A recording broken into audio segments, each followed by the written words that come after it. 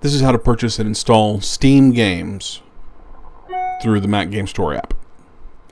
Go to the game in question, you know, make sure it's a Steam game. It'll stay here at the top that uh, Steam is required.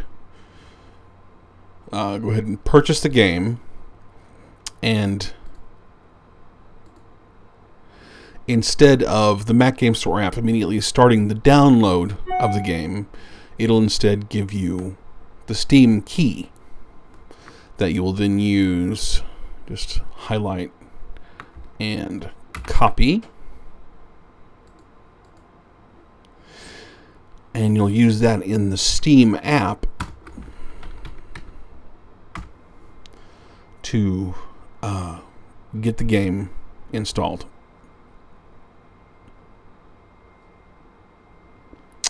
Just open up the Steam app, and down here at the very lower left-hand bottom of the window is uh, add a game link. Click that and activate a product on Steam. And click through the agreements and then paste in your Steam code. Next, and it'll confirm the game, and then just click finish. And it should start to download install the game for you automatically.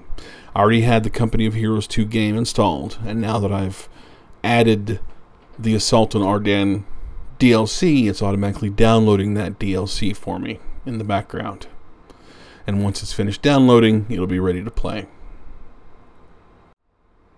Now, for other games that you've already purchased but haven't yet installed, you just go into your Steam library and if in case not all your games are listed you can just go and click on the word library and then you know select either the Mac games or all of your purchased games.